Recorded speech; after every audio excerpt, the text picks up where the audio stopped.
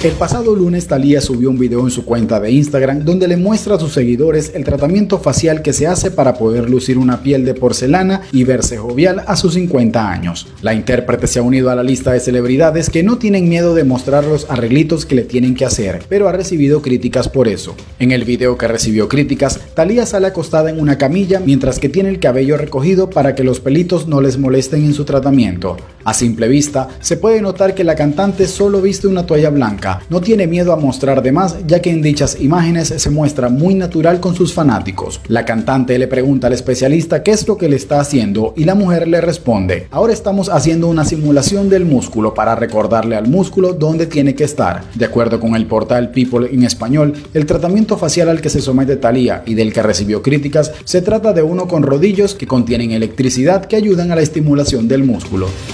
Rusia está bombardeando objetivos de infraestructura para desgastar al gobierno y al ejército ucraniano, mientras se prepara para un nuevo asalto sobre el este del país, dice el ministro de Defensa de Gran Bretaña. En una actualización de inteligencia, el ministerio señaló el jueves que avanzar en operaciones ofensivas en el este de Ucrania es el principal objetivo de las fuerzas militares rusas. De acuerdo con lo publicado por The Associated Press, Moscú está atacando la línea de control en el Donbass. Esta región separa las zonas en manos de Ucrania de las controladas por los separatistas prorrusos con artillería y ataques aéreos, apunta AP.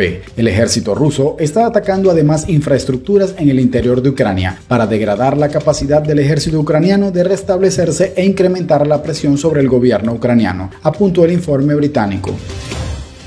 Adrián Ávila está acusado de dos homicidios en hechos separados y un juez en Nuevo México le permitió salir con libertad bajo fianza. En un hecho sin precedentes, el Departamento de Policía de Alburqueque expresó su malestar por la decisión del juez que liberó al joven. El APD cuestionó la decisión del juez Stanley Whitake en su cuenta de Twitter un juez liberó a un sospechoso de asesinato de la cárcel. Adrián Ávila está acusado de dos asesinatos separados. Piénsalo, dos asesinatos. Este sospechoso es parte de la raíz de la violencia con armas que vemos en Alburqueque y el número de homicidios. Los departamentos de policía en Estados Unidos no suelen cuestionar las decisiones de los jueces de manera directa. El caso del joven Adrián Ávila de 18 años es particularmente relevante porque el muchacho, pese a su juventud, ya es el presunto asesino a balazos de Donny Jacob Brown y Elías Otero.